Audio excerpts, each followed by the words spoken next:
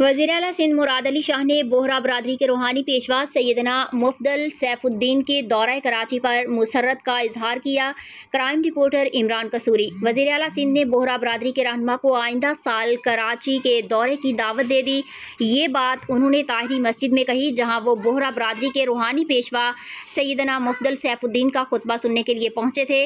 वज़ीर अला सिंध के हमरा सूबाई वजरा शर्जील इनाम मेमन नासिर हुसैन शाह, सईद गनी, जियाउल हसन लंचार मेयर कराची कराची मुर्तज़ा वहाब और दीगर भी मौजूद थे।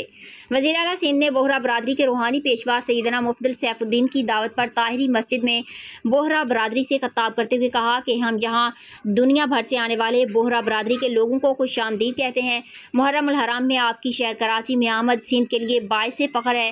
पाकिस्तान खास तौर पर सिंध के लोगों को खिदमत करने का मौका देने पर सैदना मुफ्तल सैफुद्दीन का मशहूर हूँ, वज़ीर अला सिंध, मुराद अली शाह।